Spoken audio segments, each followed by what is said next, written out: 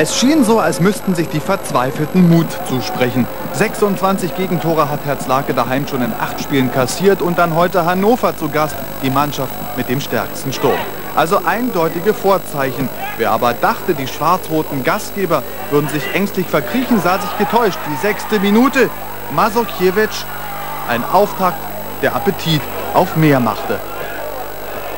15 Minuten vorbei, Hannover noch ohne echte Torschance. Stattdessen wieder die Gastgeber. Hofahrt, Flanke auf Masokiewicz. Die Hasetaler Zuschauer, 1500 waren es heute, trauten ihren Augen kaum. Geschlagene 20 Minuten dauerte es, bis der Tabellenführer das erste Mal gefährlich vorne auftauchte, Milovanovic mit der ersten Gelegenheit. Nur noch ein einziges Mal sollte der Tabellenführer im ersten Durchgang Torgefahr ausstrahlen. Wieder war Milovanovic beteiligt. Hier die Kopfballablage auf ihn. Ball verfehlt knapp das Tor. Halbzeit 0 zu 0. Der Favorit enttäuschte. Was ist los? Ihre Torfabrik, die läuft noch nicht so richtig. Ja gut, die hat Lager stehen äh, massiert hinten drin und wir haben einige hochkarätige Chancen gehabt. Allerdings ist es immer schwer, wenn mit sieben, acht Mann verteidigt wird und da muss das Ball, der Ball erstmal reinrutschen. Ne? Also hoffen auf Halbzeit 2. Trainer Fanz verzichtete vorerst auf Auswechslung.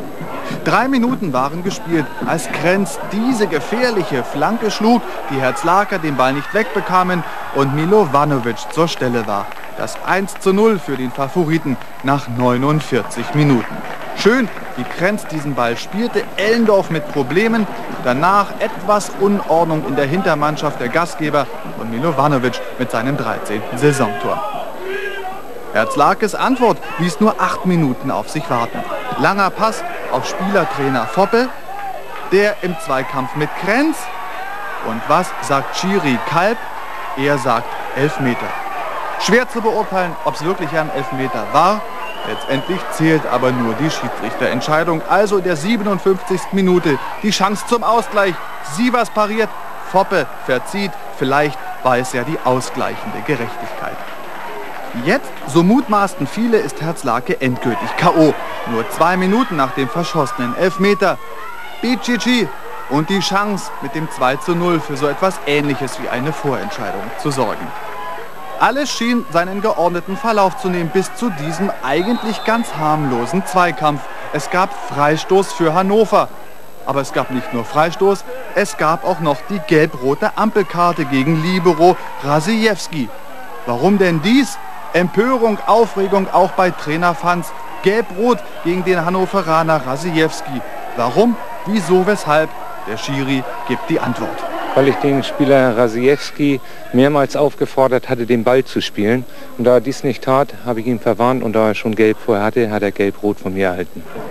Also Hannover ab der 76. Minute nur noch zu 10. Jetzt witterten die Hasetaler erst recht Morgenluft. Zwei Minuten nach dem Feldverweis. Pass auf Meier Renken und der Ball ist im Tor, das 1 zu 1 nach 78 Minuten.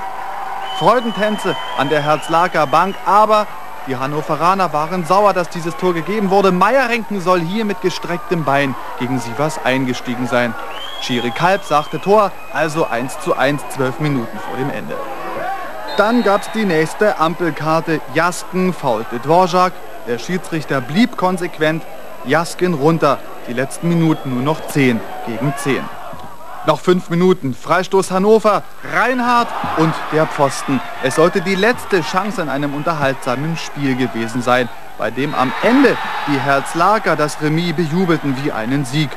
Und so entstehen, glaube ich, wahre Männerfreundschaften. Wir haben nicht nur gekämpft, wir haben auch gut gespielt. Und gegen so einen Gegner gut zu spielen, ist halt schwierig. Und wir haben das gemacht, was wir konnten. Erst gekämpft, dann gespielt. Und ja, ich bin überglücklich, was soll ich sagen? Äh, immerhin sind wir noch ungeschlagen dieses Jahr. Allerdings mussten wir das Spiel heute gewinnen, waren auch drauf und dran, sind in Führung gegangen, mussten das 2-0 machen. Und dann äh, haben wir es natürlich auch noch mit dem Schiedsrichter, mit anderen zu tun gehabt, äh, die da äh, eifrig mitgeholfen haben. Die 96er also stinke sauer auf den Schiri. In Herzlake aber könnte es gut sein, dass zur Stunde immer noch kräftig gefeiert wird.